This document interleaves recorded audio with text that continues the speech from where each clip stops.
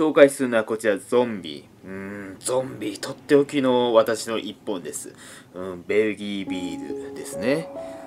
もうゾンビもこのなんかなもう感染したようなこの腐敗したようなこのラベル、うん、そしてねこれね私これかんちょっと個人的に感動したのがこちらなんですよ。あのこのキャップ？うん。こちらね何もインあの印刷されてないんだけどちょっとね普通のキャップに比べてすごくちょっとなんか濁ってるような感じがしてこのラベルでおおって私は燃えましたね。ゾンビ。でちょっとここになんか、えーと、馬のマークっぽいのが、えー、ありますね。ちょっとこのマークは何なのかはちょっと私わからないんですけども。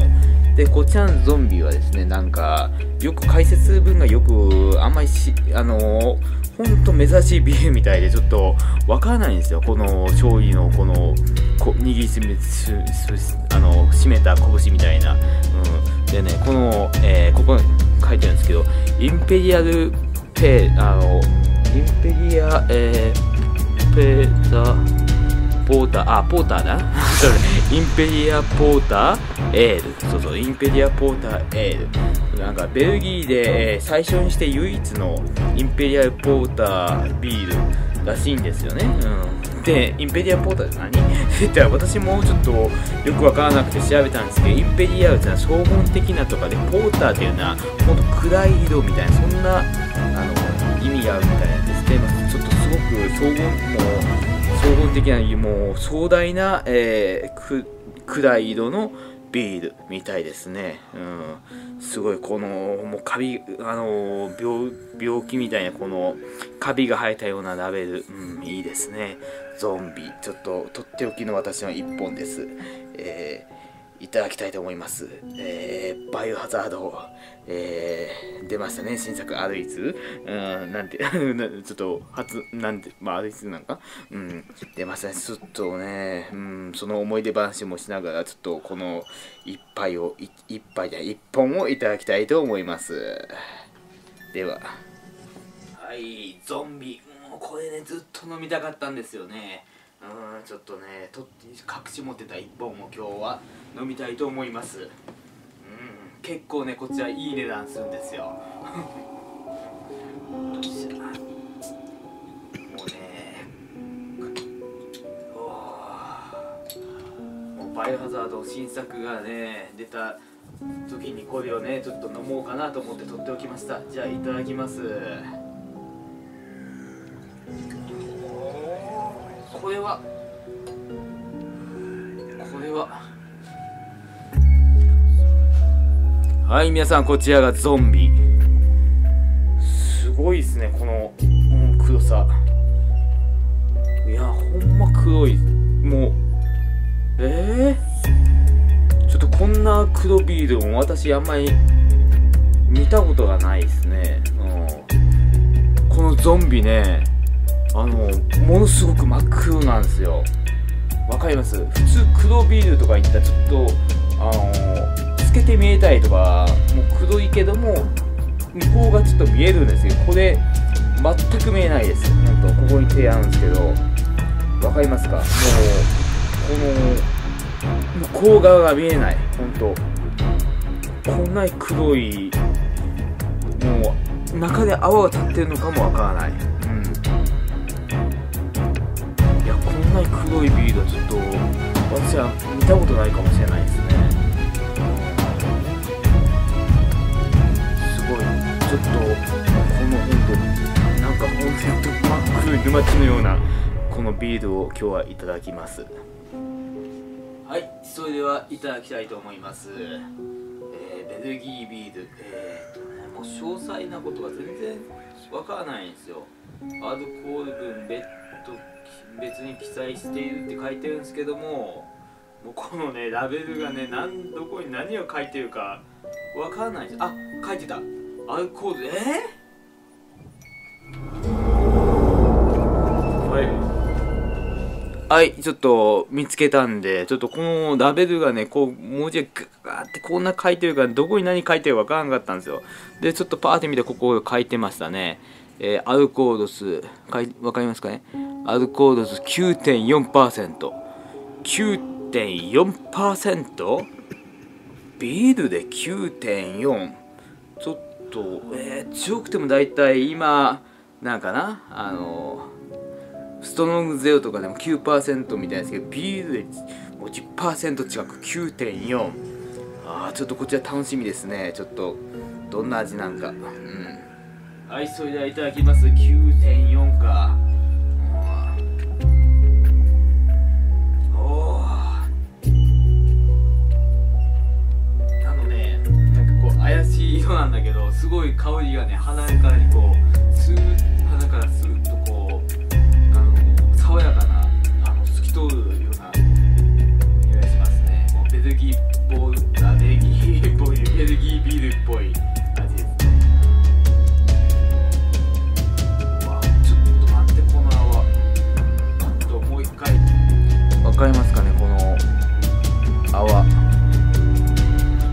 普通の泡よりちょっと大きめですね、うん。大きめなちょっと泡の気泡ですごいなんか粘り気が合うような泡ですね。今までちょっと結構きめ細やかな泡っぽかったんです。けどちょっとこの泡はかなり大きい気がしますね。でちょっとなんかほんと粘り気が合うような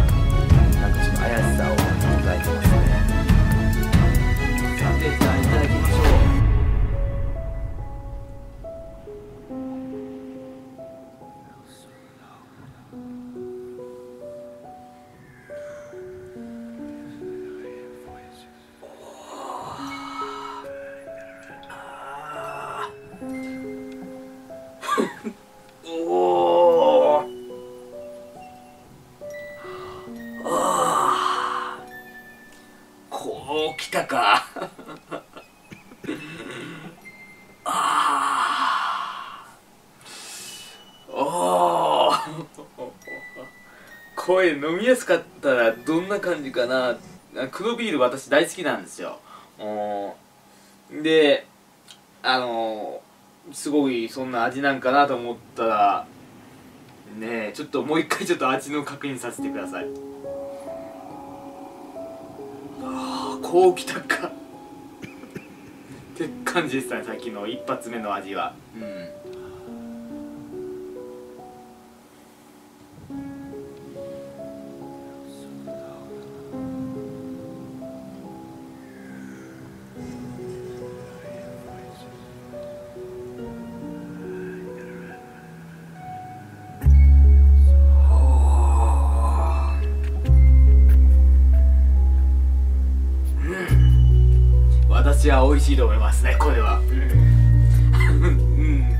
あのね飲んだ時はね全然ん？って感じで、まあ、普通じゃんって感じだったんですけど黒ビールっぽいうん普通じゃんって感じの味でけどね後からねこう苦味がね湧いて出てくるようなちょっとそのゾワゾワゾワって感じでもうに苦味がうわーっと押し寄せてきますね。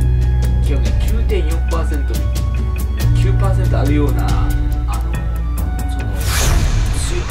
じゃないですね。あのねなんかまろやかつなんかねっとりした味ですね。これはいいですね。このゾンビねもう見かけないんですよね。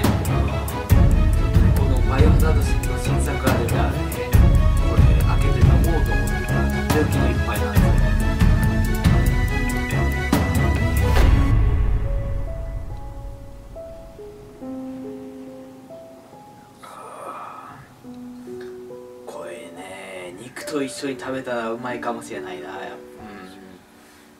うん。かゆうま馬みたいな。大事なとこに噛んだな。あのねバイオハザードあゾンビって言ったらバイオハザードってイメージが強いんだけどあのねなんかなやっぱねやっぱロメロのジョージ・エロメロさ先生のねうんもう影響は強いと思う本当。うんもう小さい頃でゾンビやっぱスプラッター系の強さがあったと思うんだけどあのナイト・オブ・ザ・リビング・デッドもうリメイク版もその本当白黒版の方もねあのねそれぞれいいとこがあると思う。うん。あのね「ナイト・オブ・ザ・リビング・デッド」をね最初見た時はねあのー、ちょっとね最後のシーンとかちょっと私は結構やられましたね。ほんと小さい頃見たんでねあれね。うんああほんとね。今ねゾンビって言ったらあの、昔みたいな死体が起き上がるそのブードゥー的なあの、亡くなった方が起き上がってゆっくり歩くとかそんな怖さじゃなくて本当なんかウイルスパニック的なものが多いです。ような気がしますね。多いですね。つうか多いような気がしますね。っていうか多い気がしますね。本当なんかなと思ったら「ロー・オブ・ザ・デッド」とかあの走るゾンビがバーってあのからゾンビにアクション要素を求めたような映画が今多いような気がするんですけどねこれね何なんかな、うん、バイオハザード日本人的にはやっぱバイオハザードからあのそのなんかそういうなんかゾンビ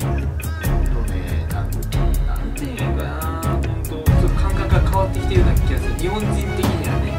うん。けどねやっぱ「ドーム・ザ・デッド」とか「28日後」とかあのこれゾンビって言っていいのかなって「ドーム・ザ・デッド」はね28日後はあれ完全なウイスパニックのもんじゃない本当ねえうん。でねバイオハザードこれね実は私入ったのが2からなんですよ。で今回2の新しいバージョンが出てもう見てからおおってちょっとやりたいんですけどね。多分ちょっと私やれないかなって思うんですよね。やれないからですがあのゲーム最近あんまりしないからそうやる環境がねちょっとなくてね。うんけどねどういう作品かはねストーリーとか見たいね。ほんとね。うん。2から入ってるんですよ私。うん。1バイオハザードはねそもそも知ってたんですよね。あの1は知ってたんですけどプレイしたことなくてもう2からやって次1やったって感じなんですよ。1をね知ったのがねあの当時ね私アニメずっと見ててストリートファイターのえアニメを見てた映画じゃないな。アニメを見てたんですよ。そしたらその終わった後にそのなんかな特なんか CM が流れてその時バイオハザードの CM が流れてすごいねなんだこれはって思ったんですけど何のゲームかが全然分からなかったんですよ。その時本当小さかったから。うん。ああでね、おおなんかな独特の苦味ですねこれ。うん。でまあ1をやばい2を最初にやってすごくね最初レオン編じゃなくてクレア編からやったんだけどあのやっぱ女性キャラ戦う女性が好きなんでしょうね、うん、私の好み的にでなんかセリー編セリーと合流してそのセリーがあの感染してしまったっていうそのそのなんか一つの警察署の中で繰り広げられるそのサバイバルの生き残りの話なんだけどもその小さな女の子と一緒に脱出しようとするそのクリアがねよくてね。でねもうシェリーがねその G ウイルスに感染したシーンがね私一番ね好きなんですよね。あのもうこういうねなんか展開が私大好きで。うんともう今度リメイク版でそこはどういう風にねアレンジされてアレンジされてるかもっとリメイクされてるっていうか発展してるかを知りたいな。ほんまそのシーンみたいなうん。でね G のねあの変形していく姿もね私はねもうもうあれもほんと自分学生時代にやったからねほんとうん。当時ねうんちょっとどう結構トラウマつうかもう夢中になったねトラウマになりつつも。うん。あの当時そのバイオハザードが流行ってうんとその残虐なゲームっていいのかあの教育にいいのかとかそんな時代だったんだよねほんとね。うん。けどねなんかうん。そうだな。って感じだな。ここでね話すと長くなるからねやちょっとやめときましょう今日は。うん。けどね当時ねあの学生時代流行ってたものがゲームでバイオハザードとときめきメモリアルで。あのときめきメモの話もしながらあのバイオハザードが流行ってた時代で本当であの恋愛ゲームとホラーゲームがうわーだった時代だった気がするな、うん、で学校の休み時間とかゾンビごっことかやってる人とかいて教室で倒れあのーって倒れててで女の子とおったらガーって足を掴んでから本当 なんかスカートとかをこう引っ張るようなそんなやつが遊びというかそんなことをしてた若い学生時代もあったなーってまあ僕はやってないけどね。思いますね。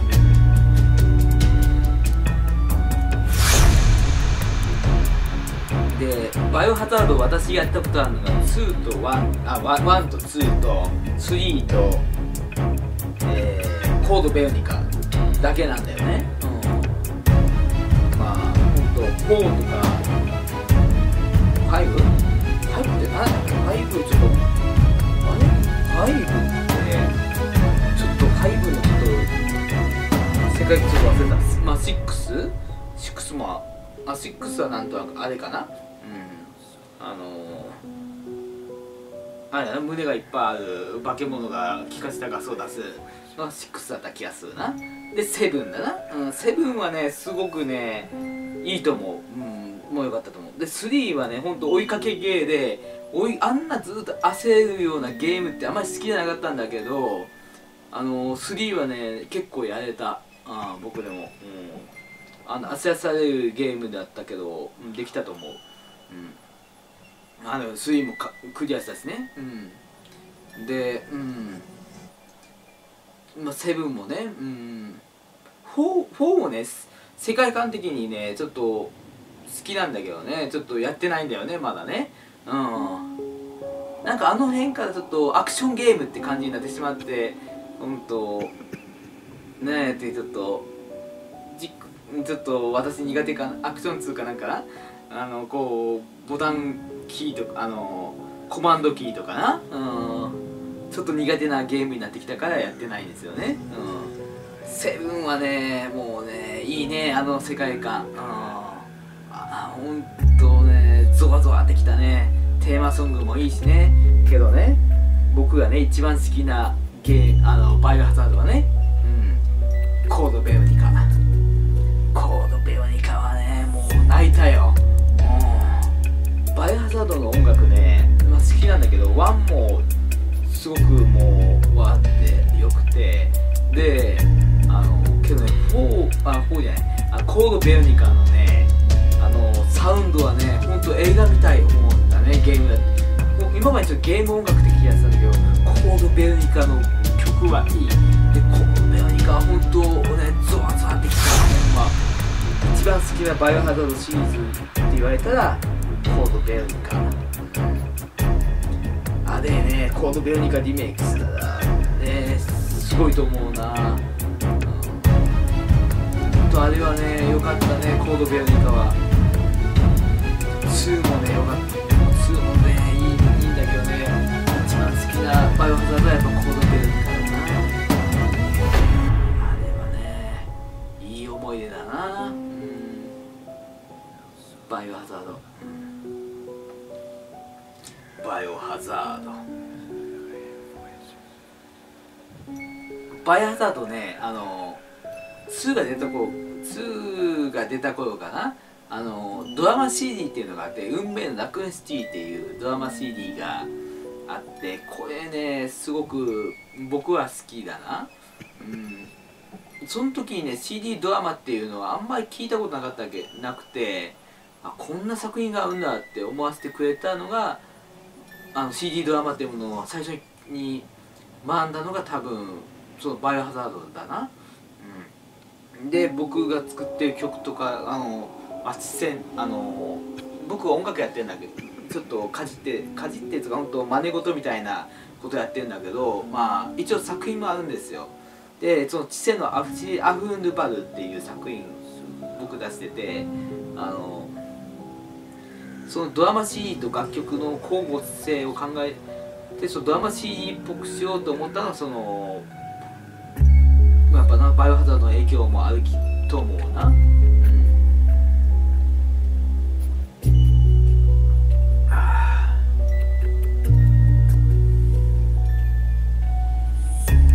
バイオハザードねほんとクリーチャーの造形がねいいね。6だったっけちょっとサイレっぽい要素もなんか入ってた気がするんですけど本当1とか2とかのクイちゃん造形は良かった。